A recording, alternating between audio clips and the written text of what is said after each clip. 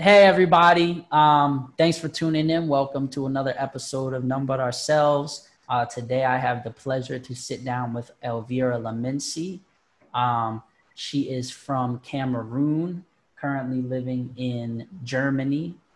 Yeah. Um, and her clothing company is called Ladema. So, thank you for so much for sitting down with me. Um, if you just want to give a quick introduction on yourself, um, just so the viewers can know who you are and also where they can follow you and where they can uh, go and purchase from your business. Uh, yeah, thank you for having me on. Um, it's a pleasure to be here. Uh, I think connecting like this is very important, especially in our community.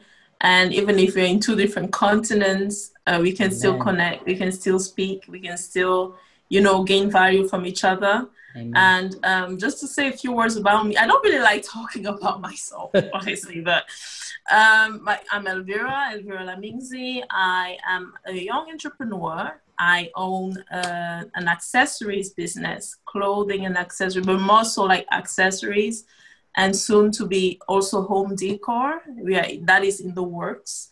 Um, that's what's up. That's that, listen. That's gonna that's gonna pop off that home decor. Listen, yeah, and, um, I know my um, girlfriend. My girlfriend gonna be in there. She yeah. Gonna be, Listen, she gonna be running that website up because she loves home decor. Yeah, thank yeah. you. So um, we are based uh, in Germany and France. I own the business with my sister. We are co-founders uh, together. We run it together, and uh, we produce everything 100% handmade in Africa. Mm. Precisely right now, we produce in Cameroon, which is my home my home country, but we are looking into artisans and talents in Nigeria and Ghana at the moment. Mm. So we are trying to bring in as many talents from the from the continent as possible, trying to expand um, our reach and you know um, trying to offer um, what Africa has to say, as simple as that, to the rest of the world. Because too often we are the people supporting other economies. We are the people going out uh, maybe as me who moved to Germany when I was 18 years old voluntarily, or and now I'm spending in this economy here, right? Or maybe back at home, people buying stuff from abroad, or maybe in the United States, our black brothers and sisters over there being surrounded by by other businesses that they invest their money in mm-hmm. and that is kind of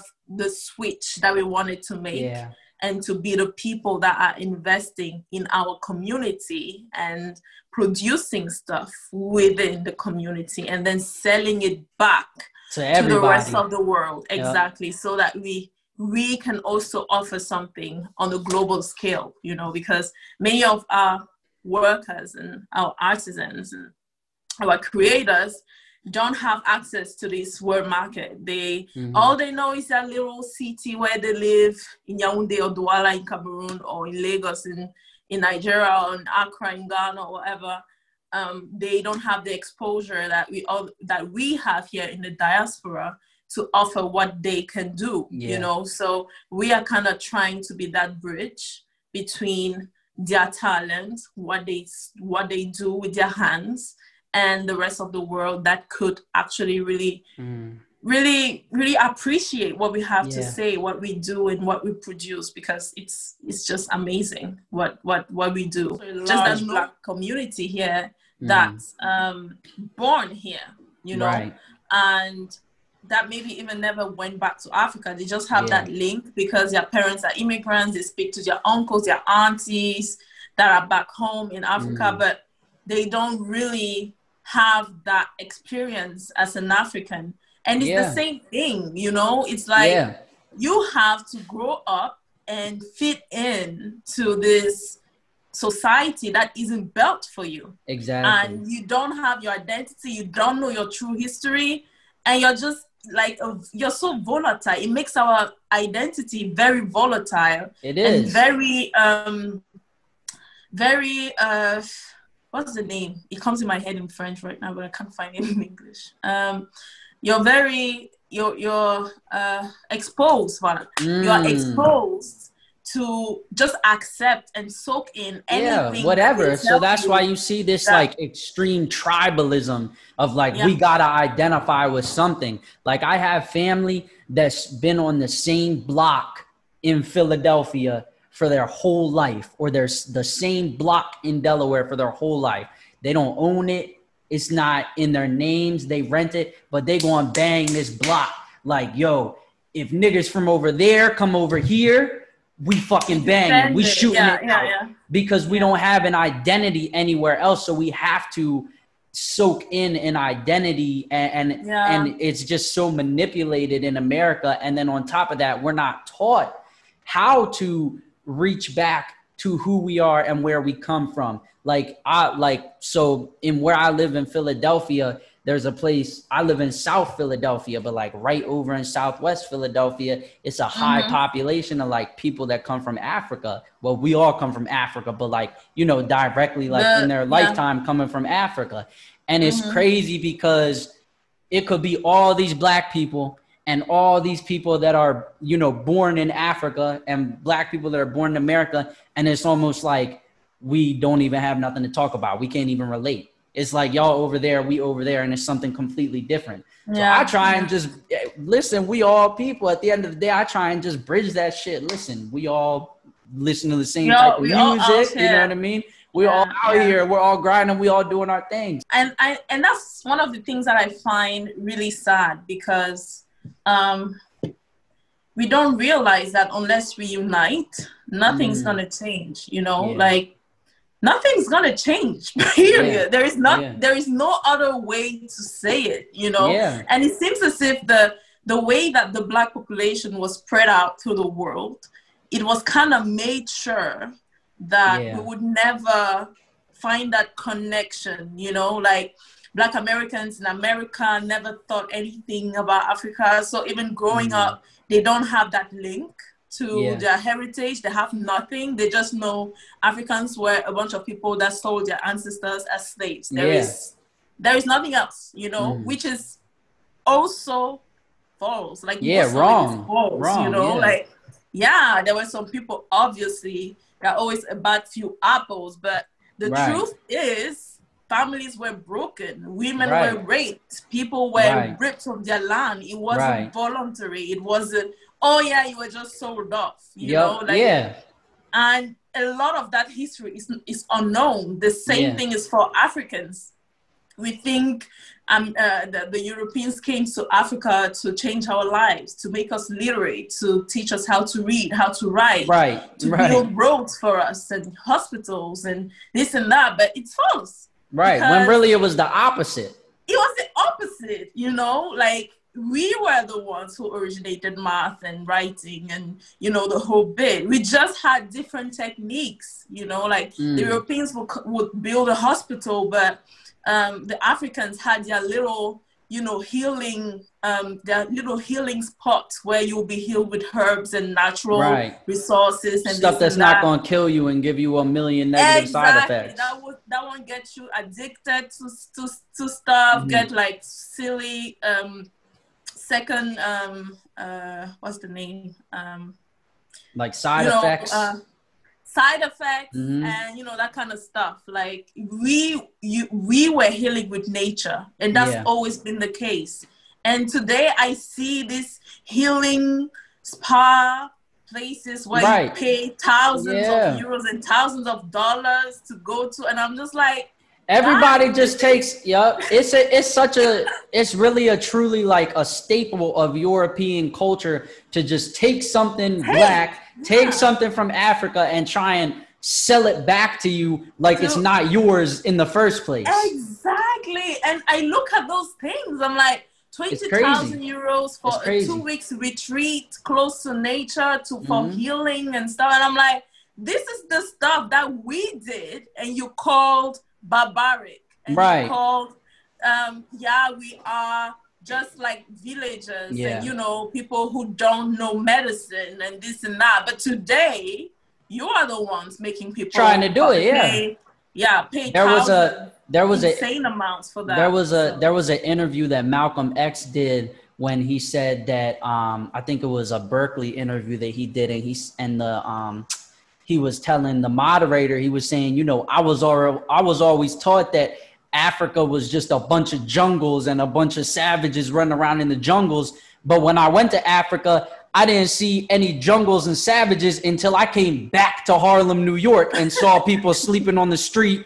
You know yeah. what I mean? Fighting over a block, acting like savages. And it's really this European influence that's spoken into Africa and African people. Like at the end of the day, like the way I look at it is we are prisoners of war.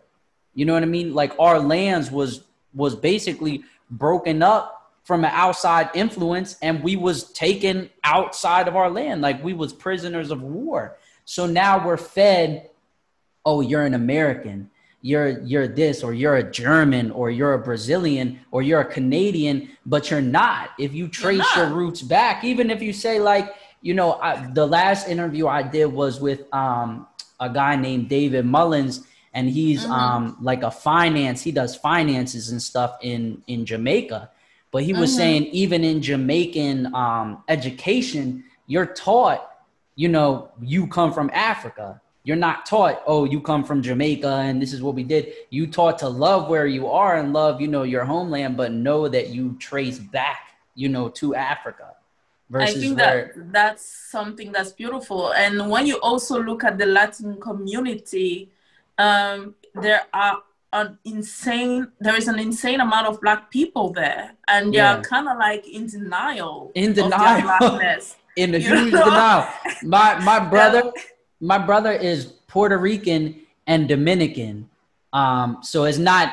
I have a whole. So, anyways, my birth family and the family that I grew up in is like different because I was adopted at a young age. So I have twelve brothers and sisters that are on my birth, like biological side from my father, mm-hmm.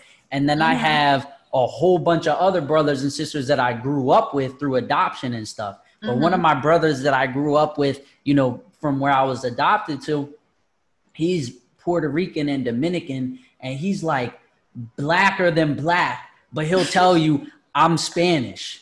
Like, no, bro, because you speak Spanish does not, that's your ethnicity, but that's not your race. Your race, exactly. And he'll really like, like I ain't putting him on blast. He know I love him to death, but like he'll really just be around all these Hispanic people, like he fit in, like bro, that ain't true. At the end of the day, all at the end of the day, we all come from Africa at the beginning of time, but since we all spread out, you know, bro, you're not Spanish. You know what I mean? You you black, it'll be like, no. He'll be like, bro, I'm no, Spanish. I'm no, you're not.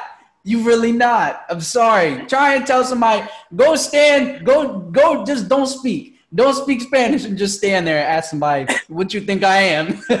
They'd be like, "Oh, you Guatemalan, bro?" No. no. but anyways, it's, it's unbelievable. Like crazy. I was just like, guys, you y'all are all black. Like, and I think that it comes from you know Hispanic people are taught a value of where they came from a value of their heritage whereas being black in america you're not taught a value of where your heritage is so if you told like i have another brother that's biracial like i am but he doesn't identify with being black at all he'll be like oh no i'm white you know what i mean oh, okay. uh, well okay. nobody sees you as white bro you might have pale skin but nobody sees you as white you know what i mean yeah.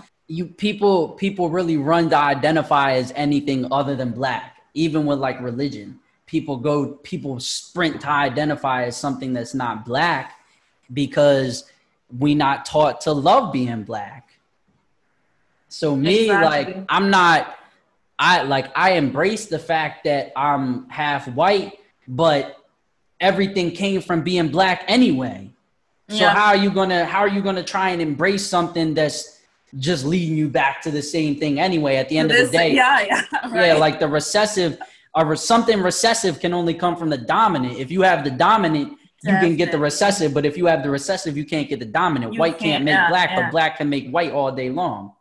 Yeah, I think for each person, you have to, there is always a moment, there is something that spikes, you know, that will or that. Mm.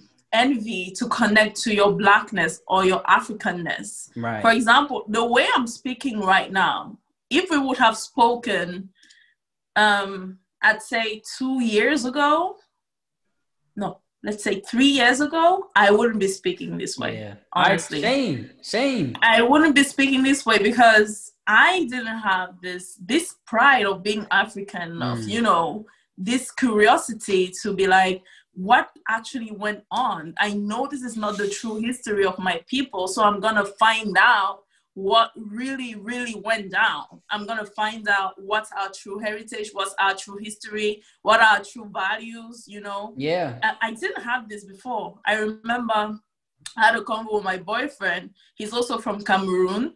Um, he lives in the United States. He lives in San Francisco, close to San Francisco. And I remember we had a conversation. At that point, I think we were maybe six months into the relationship. And he suggested that for the future, you know, like going back to Cameroon and, you know, going back to Africa, setting up businesses there and the whole bit. And I was just like, uh uh-uh, uh nah.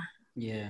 Keep me with that. I'm gonna stay right here where I am yeah. because I didn't see the value in that. I was like, yeah. there's too much going on yeah. back at home. We have too many issues, or our governments at this. Yeah. The, the, the yeah. reasons are endless, yep. right? To be like, no, I don't want to. The, if you're looking for reasons for yeah. that, you're gonna find reasons for that. Mm. But um, I one precise thing happened. I watched Black Panther. Mm, come on now. Come on now. I watched Black Panther. Um, it was what February 2018 yep. or something. Yep. And directly, like two weeks after that, I went back home. I remember at that point, I had just finished my A my bachelor degree, and I was broke. When I say broke, it's like I was living with a friend because I couldn't afford my rent. That's mm-hmm. how broke I was. And I remember my cousin bought me a flight ticket, offered me a flight ticket. I was like, you know what? You've suffered enough. You've had your degree. I'm offering you a flight ticket to go and rest back home. So I watched the Black Panther.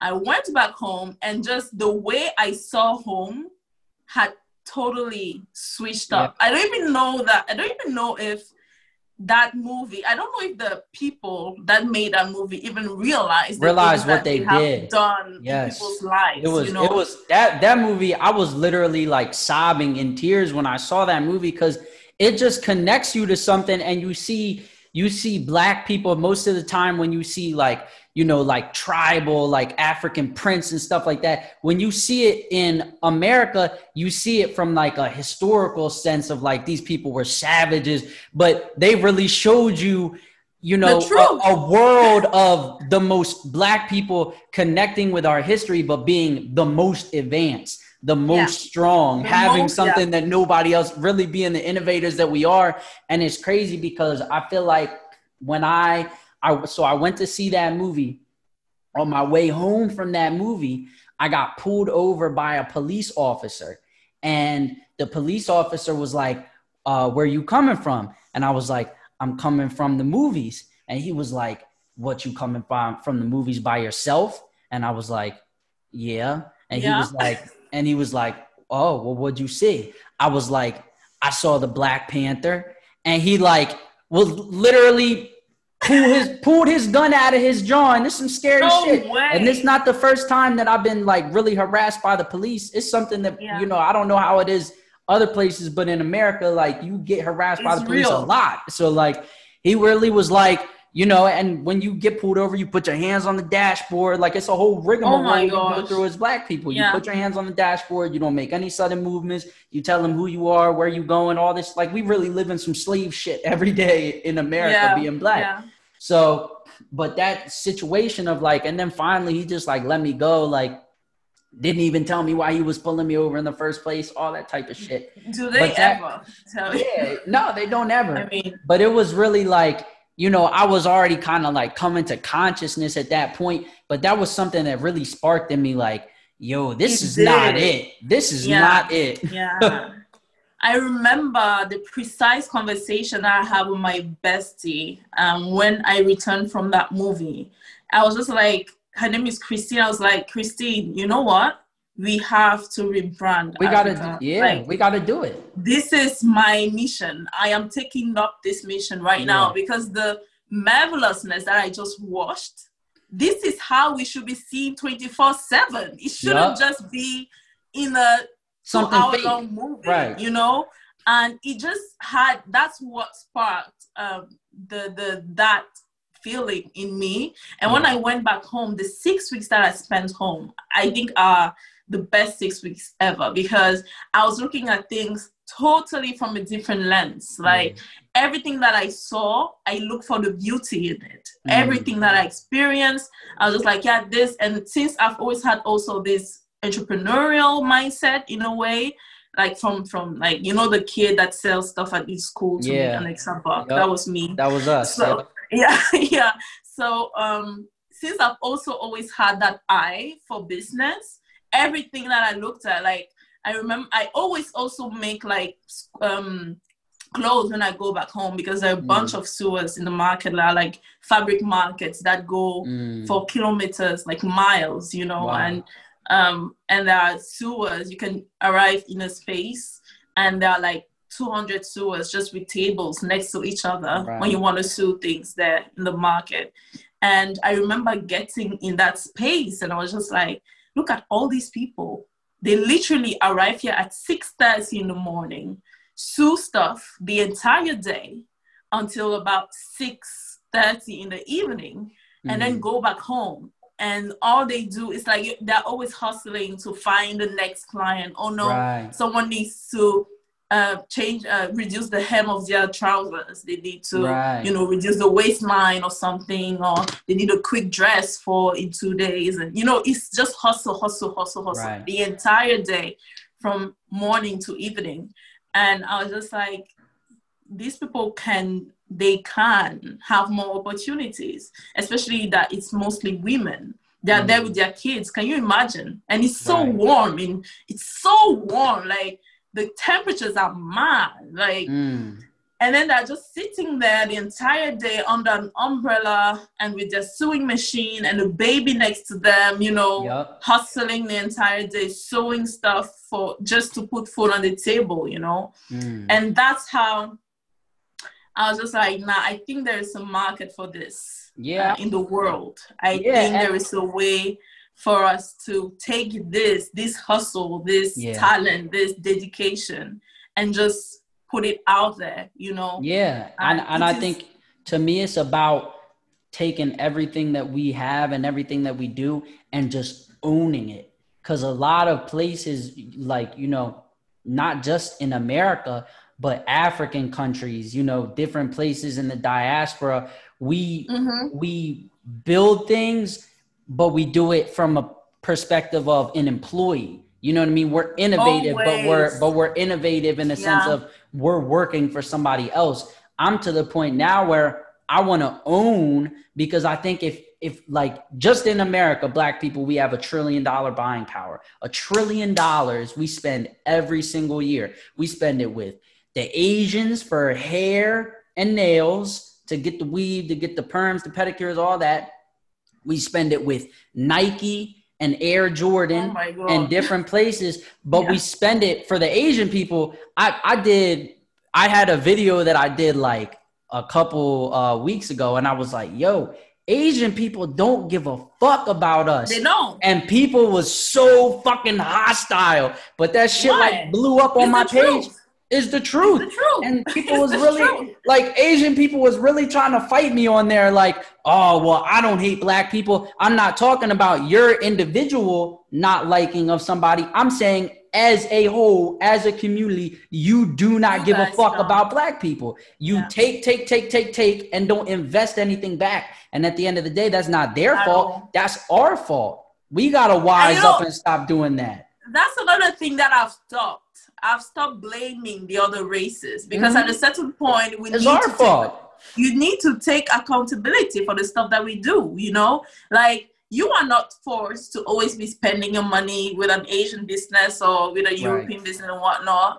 I am pretty sure there are some alternatives. Okay, not for everything because we, our community is not yet at that in that spot where we own things in all industries. Right. You know, but at least in a lot of the cases, you yeah, can you can find somebody find, that's black.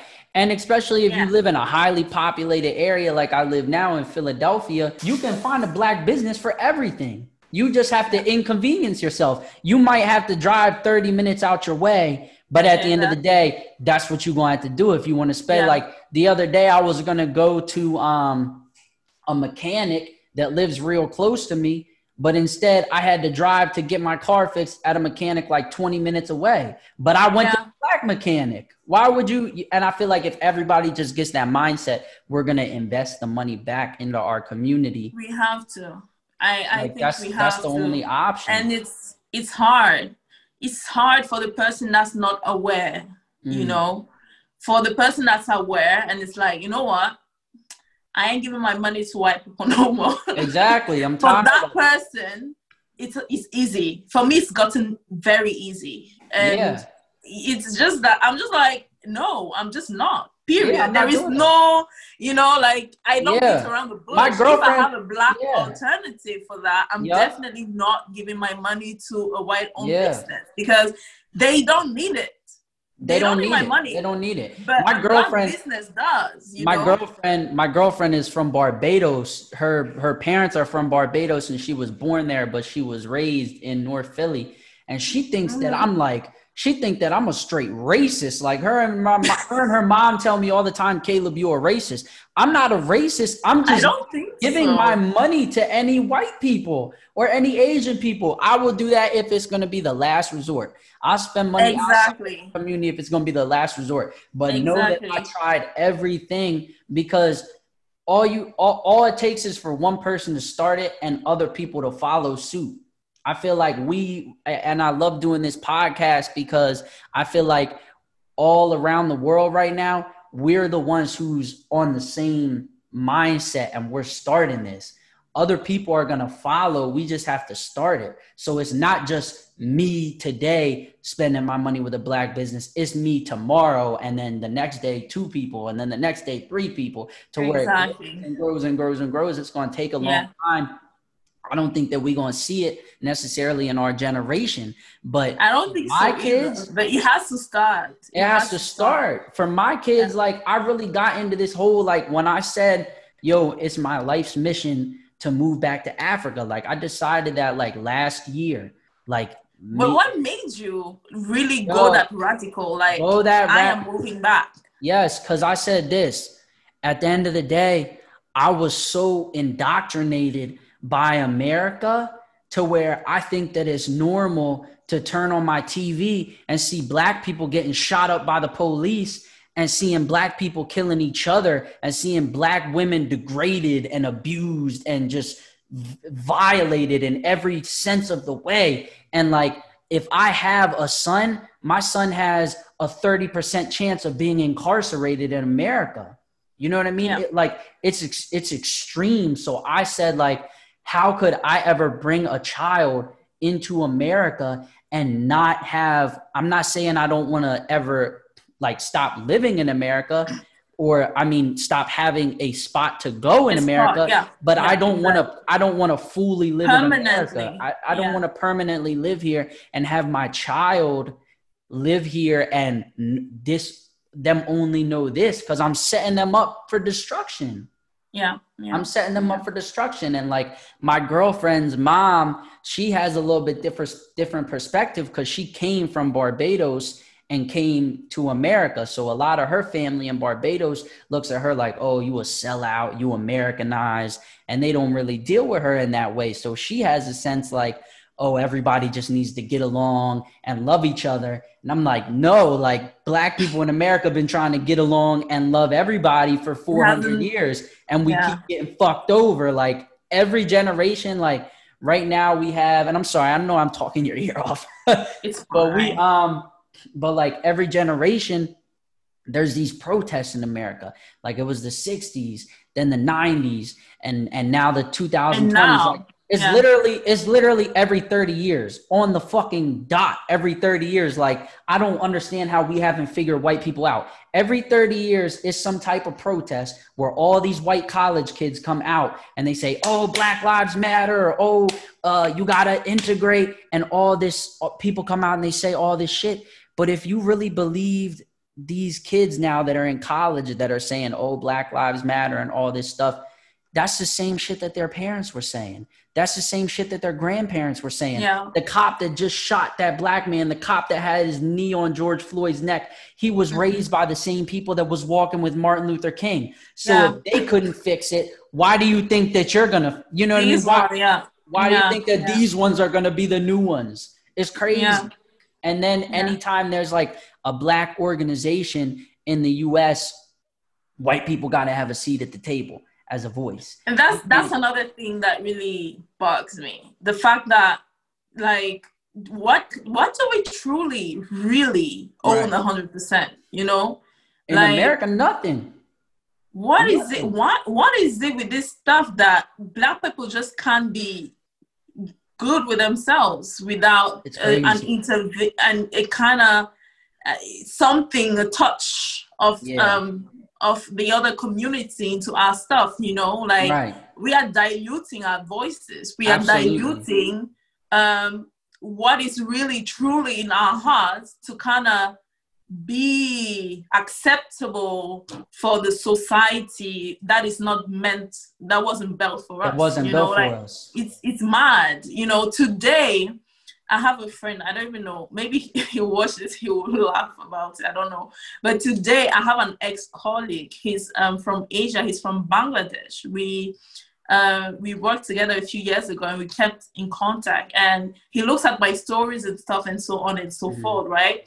And and he always downvotes the stuff like when i do polls or stuff like that he always downvotes everything. So it's been going on for maybe six months or a year and i haven't said anything. And today i wrote him i was like why is, why are you always hating on my stuff you know? Like i know he isn't white so mm. w- what's the problem?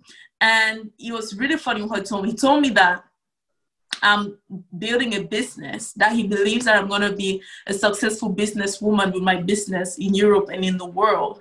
And he thinks that i am having a too liberal and too activist kind of approach to things and people in the right wing in germany might attack me or use the stuff like my mission or the things the Right. purpose the things that i talk about to downplay the image or the the the legitimacy of my business in the future when it's Right. going to be bigger and that i have to change my approach that i have to be wise about it and he doesn't think that i'm having the right approach that i'm too he was kind of being like i'm So too black. basically, so basically, he wants you to whitewash what you have to say. Exactly. And I was just like, huh, I- don't quite understand. Like, you have to explain it to me because what you're telling me, I'm kind of getting a sense of you want me to whitewash my voice. You Mhm. want me to dilute my message. You can you can be black, but you can only be black this This much. This is all this this is an acceptable amount of blackness for you to have. Once it goes ah ah ah, bring it back in. it's crazy. And so, so I have it's so hypocritical.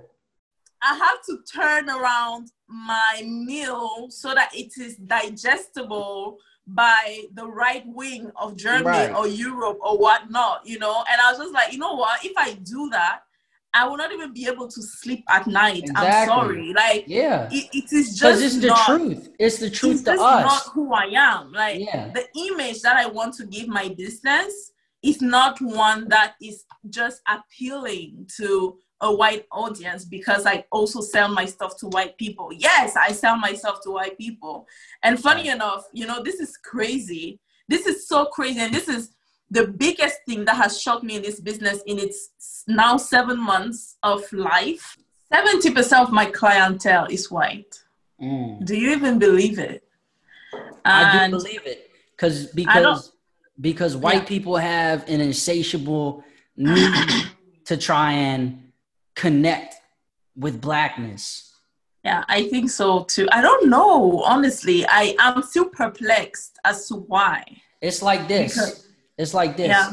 There's people in where I'm from in the US that are white kids that grew up in the suburbs. They grew up in in fancy houses with fancy cars. Their dad got trust funds sitting for them. They grew up in the high economic class, but they become teenagers they hear rap music somehow and now all of a sudden they want to drive from the suburbs to the hood to be in Just, the inner city and fucking stand on the block and dress like they're black and ah fuck the ops we banging on them but they from country class hills.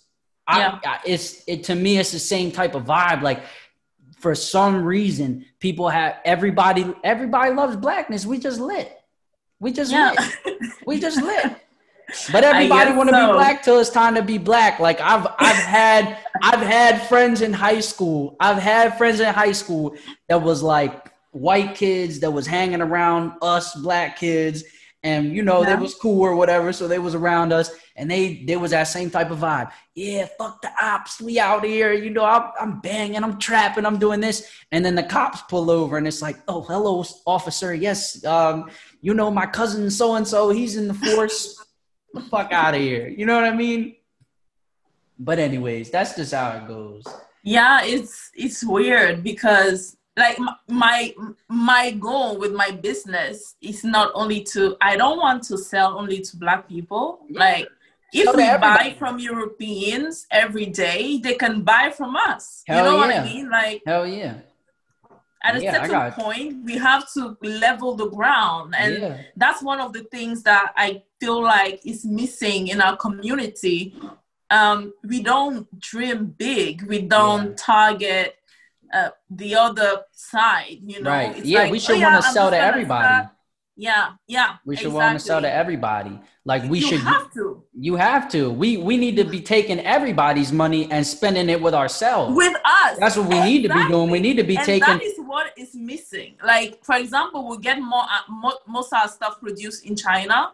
Mm-hmm. take the stuff in china and come and sell it to our community. And i'm like shouldn't we right. be looking for a way to produce to it sell ourselves? our stuff to China, right? And sell it exactly. Right, because everybody that, wants the resources of Africa. Everybody's coming to Africa for the oil. Everybody's coming to Africa for the land. Everybody's coming to Africa land, for the, the, for the resources, the gold and, and, everything.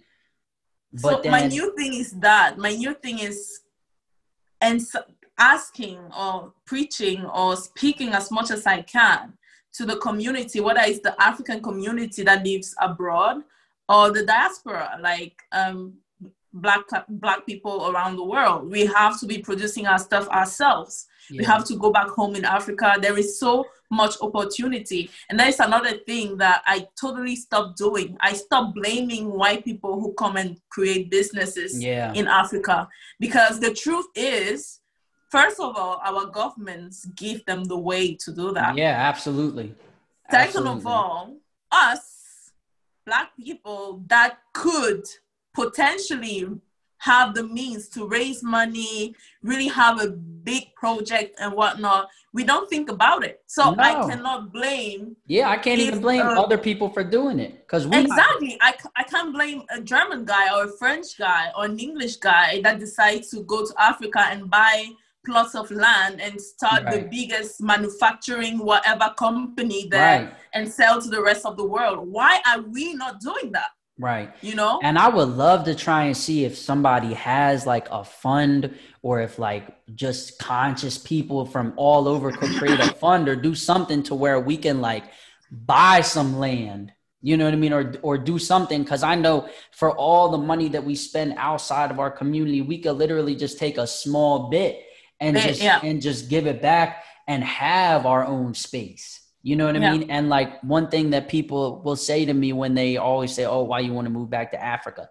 is they'll say, "Oh, you know, people in Africa got its own problems and Africa governments are corrupt and you know African people they might not even accept you because you are American and you That's white skin." Lie. That's that a lie. part is a big lie. I've Absolutely. never spoken to an African who has refused a black person ever. Like, right. it's yeah. not. It's the first thing is that we accept foreigners that are not black. So it's not yeah. a black person that we're gonna reject. You know right. what I mean? Like right. it makes no sense whatsoever. Yeah. And it even no. And even if like, and I know that eventually trying to move back to Africa, of course it's gonna come with its own set of problems. Of but I would rather I would rather tackle those problems than tackle the problems of staying in America and never giving anything back to my kids. Cause even because yeah. like in the US the idea of like making it in like all of like our rap music, like uh uh like athletes, sports, culture, is all I want to make it and I want to leave the hood. I want to make it. I want to go live with the white people. I I, I want to make it. I want to buy my mama a house. You know what I mean? And move my mom's out the hood. So our whole mentality is twisted because we're told the the goal of life is to get away from black people basically that's what you want to do. If you you can be successful if you get away from black people. Yeah. And I'm trying to do the complete opposite. I'm trying to like like my girlfriend we're we're in the process of trying to buy a house right now and she want to go out in like the suburbs which is nice but like I'm like yo I'm not I'm not going to not live around black people. You know what I mean? Like I don't mind going to the suburbs like if it's a black suburb but like I'm not going to not live around black people. That's crazy to me. Yeah. You know yeah. what I mean? That's it, it, like it's just it's mad to me. It's mad, and it's the same thing for you know. There are so many similarities. It's crazy. Like you are in America, I'm in Europe. I did not grow up there. The experiences are different but the same because it's the same thing for African immigrants that migrate to Europe. It's like, oh, now I'm in the land of the white man. Yeah. I'm gonna just make my life here. Life is sweet here. You know, there is a bunch of things, and you know, the way they go back home in Africa, like back home when they go on holiday and stuff, they flash designer on stuff, people. and yeah. they're like, "Oh yeah, I have money. I live nicely. You know, I have a nice car. I wear Gucci and." all of that stuff. Just cooning. Just for the standard, you know, mm. for like, and I think it is a very internalized um, inferiority complex exactly that we have exactly because the fact that we define our success to whiteness is a problem.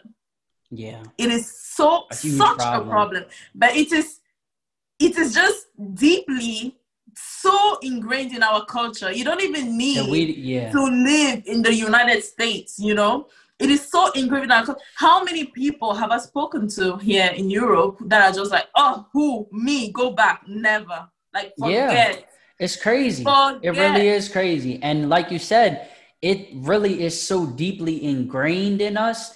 Like, you could really be across the world, we dealing with the same issues. That's why I think in in a certain way it's such a blessing that we all dealing with the same issues because we can speak about stuff and articulate and really be on the same page because wherever we are in the world we're dealing it's with those same, same issues. Yeah, we everywhere everywhere you go black people are incarcerated Oppressed. more economically inferior.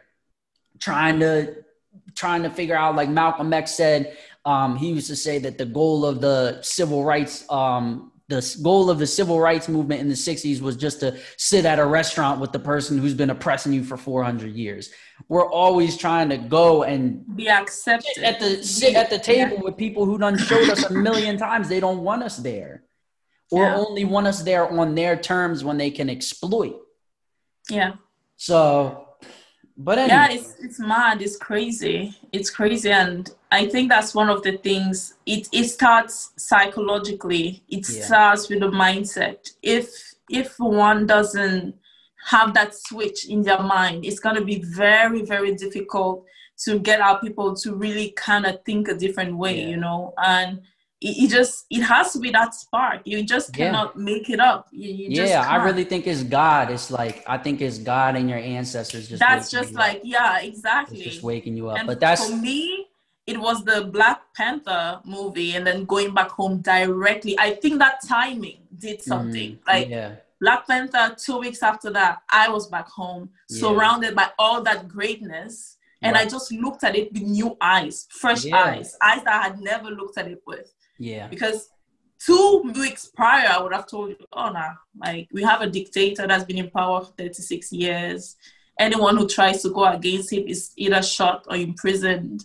You know, like there is no hope for us. You know, the society is screwed up, the corruption is bad, and the mentality of the people is totally off. And, you know, I would have told you so many things. And right. just that spark, that that thing that got me thinking totally switched my perspective on the, on everything yeah so maybe it is it was that for me it was you you you, you also had your spark and stuff and at this point i believe that every black person that is aware of that of this conversation that we're having um, has to do something to create that spark into someone else. Mm. So, yeah, and it's and it's amazing because like you said, it was a time when you would have said, Oh, Africa, I'm not going back to Africa. It was a time when somebody would have said to me, Oh, you know, basically, what are you going to do to support your community? I would have been like, Well, basically, fuck these niggas. Like, I'm getting myself, like, what you mean, what I'm going to do to support my community? I'm going to get on, I'm going to get the fuck out of here. That's what I'm going to do. yeah. But if we was on that type of level and we are now how we moving now, it gives me such a hope for our community in the future because there's so many other people who's going to have that, that uh, enlightening yeah. awakening and we're going to teach our kids so that our the next generation can just boom right from the jump